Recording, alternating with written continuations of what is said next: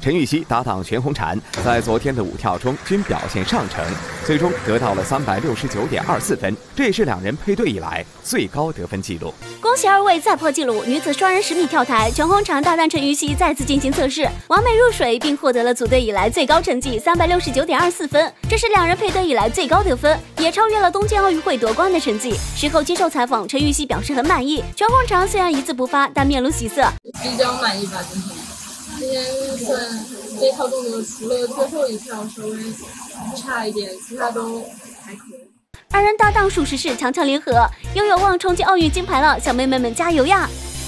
呃，那究竟是训练会表现得更好，还是说测验在这种比赛的氛围里面会表现得更好？